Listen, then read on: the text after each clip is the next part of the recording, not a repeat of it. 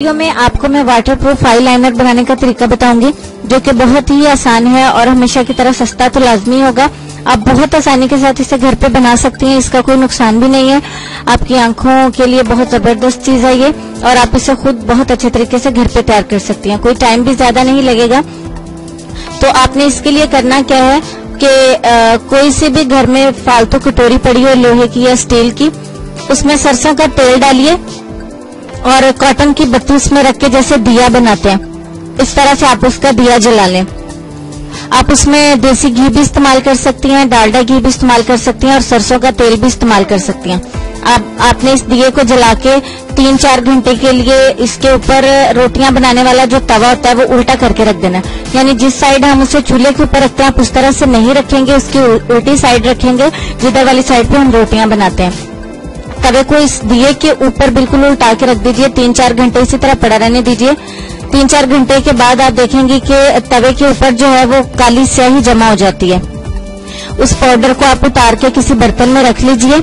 अब इसमें आपने या तो जैतून का तेल ऐड करना है, अगर आपके पास बादामों का तेल है, वो भी ऐड कर सकते हैं, अगर आपके पास तिलों का तेल है, वो भी ऐड कर सकते हैं। सरसों का तेल इसमें नहीं ऐड कर सकती, इन तीनों तेल का जो मैंने बताया, इन तीनों में से कोई भी जो अवेलेबल हो, आप इतनी सी क्वांटिटी में मिलाएँ कि वो लिक्विड हो जाए।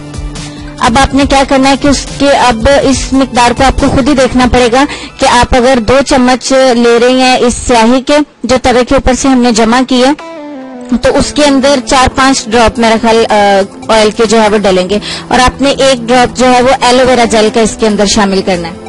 ताकि वो गाढ़ा हो जाए, बिल्कुल लगाने में भी आसानी हो। अगर आपको लगे कि उसका कलर बहुत ज़्यादा डार्क है तो आप उस स्याही को कम कर दीजिए और अपना जो है वो एलोवेरा जेल थोड़ी ज़्यादा कर दीजिए। लेकिन बहुत ज़्यादा पतला ना हो जाए, उसको जितना ठीक रखना है, जितना पतला रखना है, आप खुद उसी हिसाब से उसके अंदर जल मिला सकती हैं, उसकी स्याही को कम ज़्यादा कर सकती हैं और ऑयल को भी कम या ज़्यादा कर सकती हैं। इस तरह तीनों चीज़ों को मिक्स करने के बाद आप इसे डब्बी में महफूज कर लीजिए।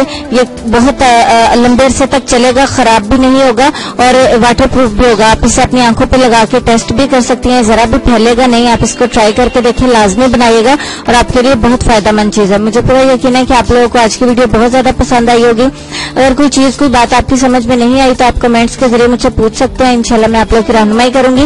और वीडियो हमारी खत्म हो गई अब चलते हैं आज के लेसन की तरफ़, जिसमें मैं आप लोग को ये कहूँगी कि इख्तलाफात पर सबर करना और दूसरों को बर्दाश्त करना ही इखलाक है। इस छोटी सी मगर बहुत ज़्यादा गहरी बात पे लाजमी जो है वो इतनी मेहनत से वीडियो बनाई है, एक लाइक तो बनता है ना। और दूसरा ये कि आप हमें इतनी बड़ी दुनिया में दोबारा कैसे ढूंढेंगे? तो इसका हल ये है कि आप हमारे चैनल को सब्सक्राइब कर लीजिए और इस बेल के आइकन को क्लिक कर दीजिए।